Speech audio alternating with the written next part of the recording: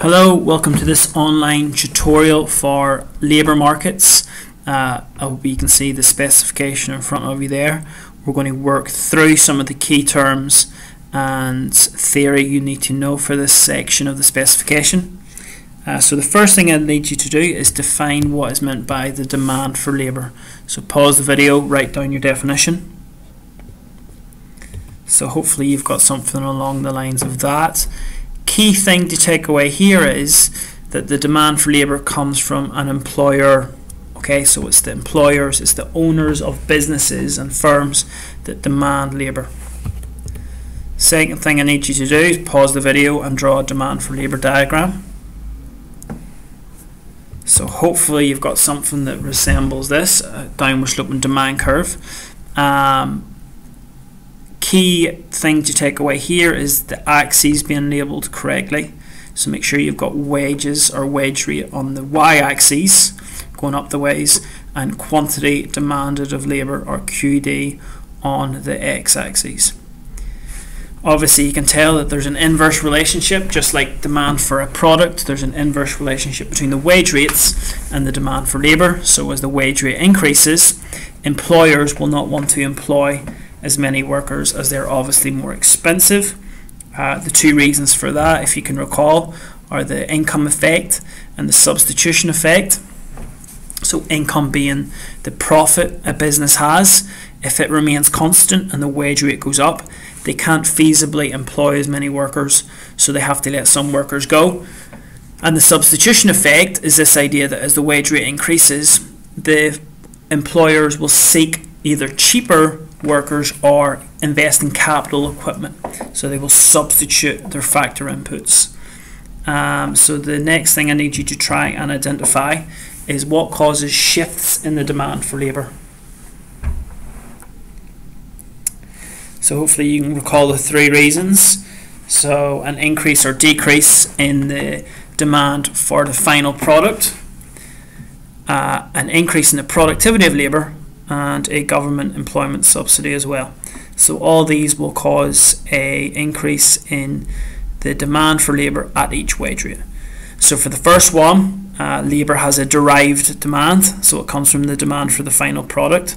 So if there's an increase in demand for cars, there will be an increase in the demand from employers for mechanics, for example, to be involved in the production process if there is an increase in the productivity of labour, that means that the output per unit of labour input, i.e., each employee, is being more productive, their output is increased. So if their output increases and the firm is paying them the same wage rate, the average cost for the firm will be lower. So therefore they can afford to employ more workers as they're being more productive. And the last one, if the government give firms gives firms subsidies uh, to take on apprenticeships, uh, to take on more workers, they will be able to demand more workers at each wage rate. Okay, so that's the demand for labour.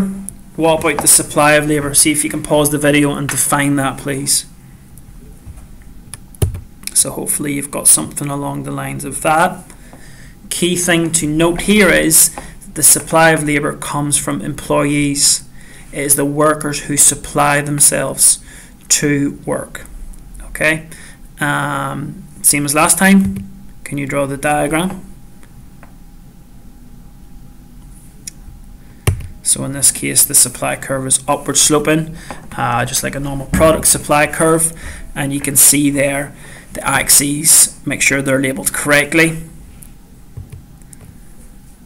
if there was a shift in the supply for labour curve, you need to be able to, be able to identify various reasons why that might be the case. So see if you can pause the video and identify a few of them, please.